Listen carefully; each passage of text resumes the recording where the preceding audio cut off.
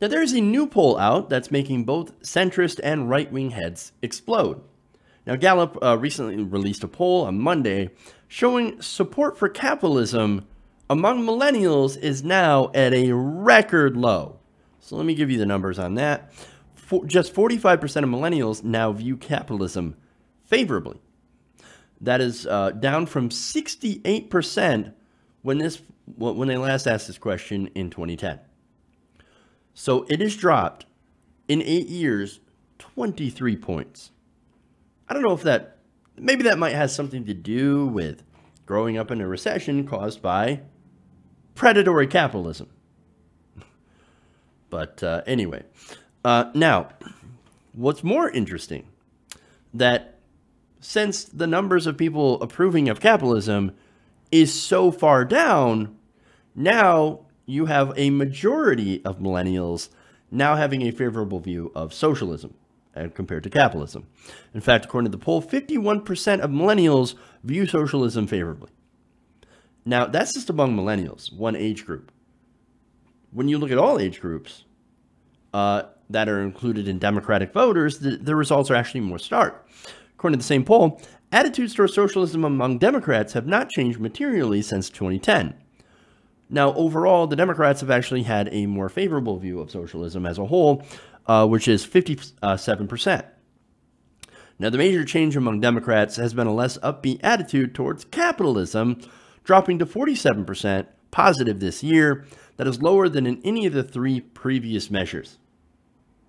So, in its summary, Gallup notes for the first time in Gallup's measurement over the past decade, Democrats have a more positive image of socialism than they do of capitalism. Now, that, of course, has Nancy Pelosi very worried. After all, she says that the Democratic Party, we're capitalists, and that's just the way it is. Well, your voters would disagree. I mean, who, if most of your, if a majority of your voters, Democratic voters, disagree with that statement and actually have a more negative view of capitalism than they do a positive view of socialism, then you got to ask, who the hell is Nancy Pelosi representing?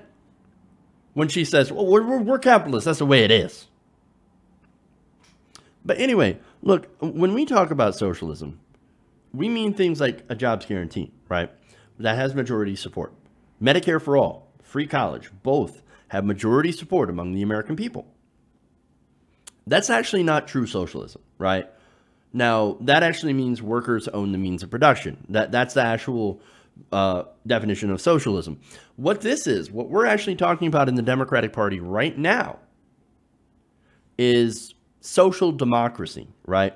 Social democratic policies like that of FDR.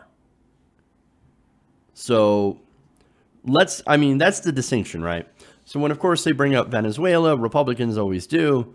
Um, that's sort of, uh, they're, they're talking about the completely wrong thing. Now, speaking of conservatives, uh, look, their heads explode whenever you talk about these policies that are incredibly popular, uh, that are socialistic policies. Uh, and of course, they immediately begin talking about Venezuela and eating rats. As we have seen with Meghan McCain, when you bring up some of the policies that, again, are very popular um, and, uh, you know, are being espoused by people like Alexandria Ocasio Cortez. She absolutely flipped out. And she's like, the average Venezuelans lost 24 pounds because they're eating rats because of socialism. But it's not what we're talking about. And others, of course, fearmonger about tax rates. Same thing, especially when it comes to single payer.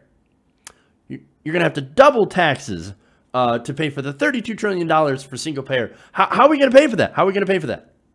That's the question that they always ask.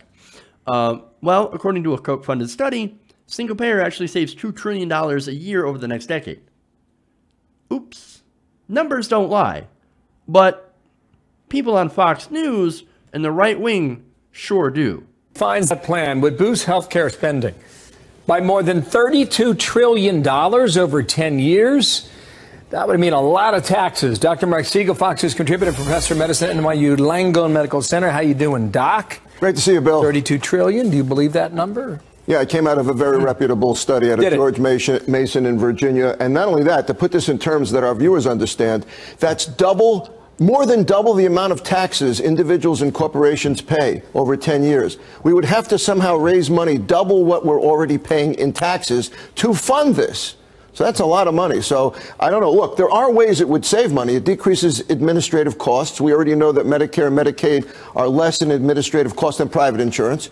They would use the block to negotiate drug prices. Those are two savings. But cost, no copays or deductibles. Look, those are disincentives for overuse, Bill. In other words, if you have a copay or a deductible, you might think twice before spending it. But with Medicare for all, single payer, you don't have that. Second problem is rationing. I mean, in Canada, which is single payer, you can't get a hip replacement when you need one. You can't get a stent when you need one. You may have to wait three or four weeks to get a cardiac stent when you have chest pain. I mean, this is a very well publicized problem, and that's what you would see here. Mercatus Center, George Mason University. Say you say it's credible. Very credible. Okay, so I love that because here they cited the same story, uh, same study that I just cited, except they left out one of the most important parts of this study: the fact that it actually saves two trillion dollars. They don't mention that at all. They never mention that because Fox News is basically having to spin this. This is this is all just trying to spin it to go, oh, look at how expensive that is. We're gonna have to double our tax rates. No, that's actually not true. If you were to add it onto our existing system, and that's what they always do, they play this tricky math, right? Where they're like, no, no, it, it'll cost 32 trillion extra to what we're already paying. That's not true at all because the existing system would be absolutely replaced by that. There is so much in there uh, in that segment that is pure fiction. Again, we already pay more than $32 trillion into the healthcare system. According to that most conservative study, we would save money. There would be a small uh, tax increase, but that would be offset in how much you pay in premiums. You wouldn't pay any premiums, you wouldn't pay any copays. Uh, and of course, he gets into that um, by saying, oh, no, no, it's a disincentive to overuse of care. Who actually wants to go to the doctor more often? No, I actually hate going to the doctor, but you do so when you're when you're sick. And actually, look, when you set up preventative care, that actually also saves money in the long run. That's also in part of the study. Okay. Uh, and look, as far as the Canadian healthcare system, uh, the rationing of care, that's absolute bullshit. Uh, no, when you have emergency care, when you need emergency care, you are able to get that care, no money out of pocket. None. It doesn't cost you a damn thing. You pay in it ahead of time through your taxes, um, and you never have to pay anything out of pocket. And and look, there's look. Here's the thing. You ask any Canadian, they're gonna say yes, we do get the care we need. So look, and and they overwhelmingly, uh, you know, prefer the system that they have over the American system. And look, there's a reason why we are the only country in the developed world with this system. And it's not because it's so amazing, it's actually terrible. This guy, again, going to the copays and deductibles, right? He thinks that that's somehow a good thing. Well, because it's a disincentive, right? He's full of shit on pretty much all counts. Uh, but this is, like I said before, this is Fox News. Uh, and so here's what they're doing. They're going to smear the, the policy because they're afraid of this policy. They don't like it at all. They know that over half the country wants single payer. And so here they are. They're in panic mode and they spin every single story. And it's not just them, too. You also have centrist outlets as well. You also have CNN talking about this.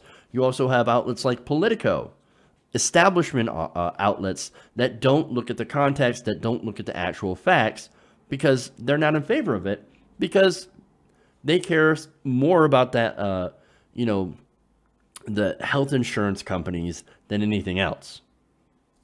So, but look, in reality, this is an example of socialism winning. Now, here's the thing, right?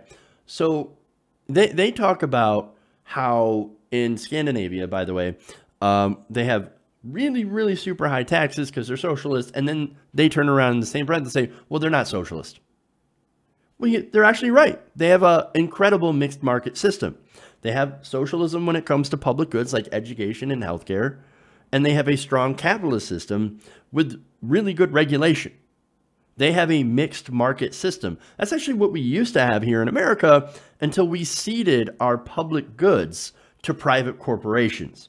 And we set up a system where those private corporations will now exploit citizens for profit. That's what this is. And we all know it. And so that's why people are frustrated. And that's why people are looking for a way to change that. And of course, the way to change that is to embrace a socialistic system when it comes to healthcare and education. That's what a good mixed market economy actually does.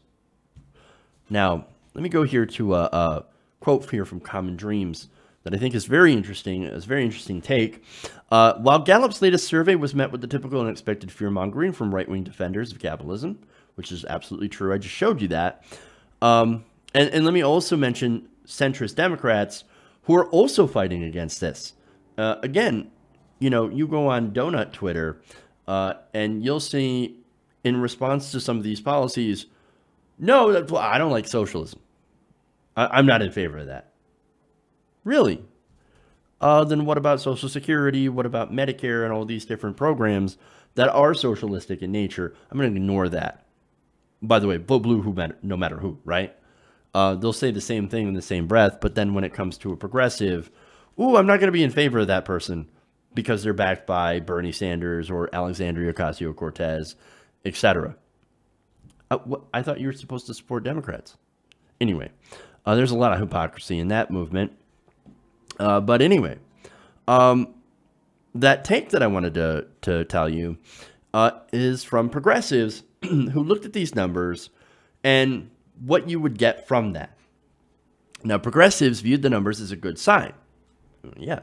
But also noted that there is still a, a tremendous amount of work ahead. Uh, the New Republic Sarah Jones, for example, tweeted on Monday People seem excited about this poll. I just add that it also reveals a need for democratic socialists to educate voters. The decline in overall support for capitalism did not correlate to increased support for socialism overall. And that's a very, very good point. And that shows that when it comes to messaging, Democrats not only are terrible, but Republicans are actually really good at messaging. And it's because they, they don't spend their time coming up with new and good policies to help American uh, the American people. Their entire platform is basically we're going to give tax cuts to rich people, we're going to deregulate corporations, and then we're going to come up with some BS social issues uh, in order to attract voters. That's what this is. Look, we we've let Republicans do decades of fear mongering on anything related to socialism. Again, Venezuela. Before Venezuela, it was Greece, right? Um, in which both of those countries, by the way, there were a lot of impacts from outside forces that led to a lot of this. And so, you know, and there, and I'm afraid that there has been so much programming, right, uh, from the right wing and using their right wing narratives, and Democrats picking up, you know, politicians picking up that same narrative, that there's a lot of uh, Democratic voters that have just internalized that right wing narrative. And that's why you hear so many of them say, yeah, that's great. I, I, would like that, but how do we pay for it? So that's why, look, we've got to fight to take that narrative back. Uh, and that's why I'm glad that people like Alexandria Ocasio Cortez, Bernie Sanders, and some of the others, uh, great progressive champions, are actually trying to change that narrative so we can get it back. And so we can actually finally enact actual good common sense policies that the rest of the world have been able to do. Hey everybody, thanks for watching this video. If you want to see more like this, please hit the subscribe button below. And if you want to support truly independent progressive media, please consider becoming a patron at patreon.com slash TYTNation.